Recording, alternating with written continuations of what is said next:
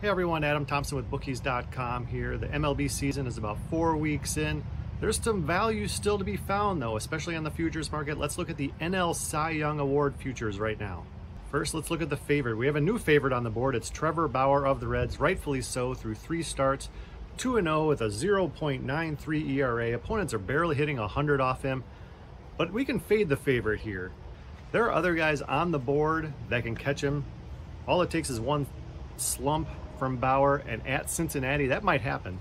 Look at Jacob DeGrom. This guy was at plus 300 to start. That wasn't much value. He's at plus 500 now.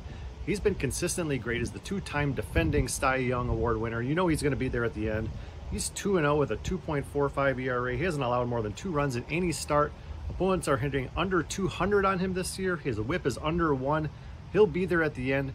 Plus 500 is quite a value for Jacob DeGrom. One of the best values we've seen in three years on DeGrom in this award.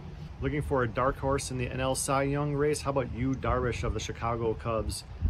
He has the tools to be a Cy Young contender. In seven seasons, he's a four-time All-Star, finished second in the AL Cy Young voting once to Max Scherzer.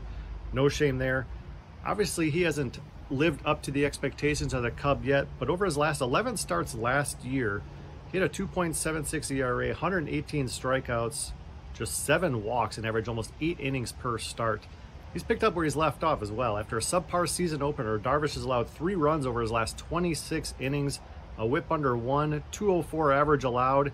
In a short season like this, if he can keep that streak going, you know he's going to get run support from Chicago. 15 to 1 plus 1500, those are great odds for a guy who could be there in the end.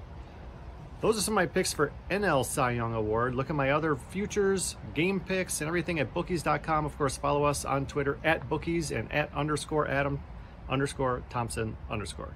Until next time, good luck and stay safe.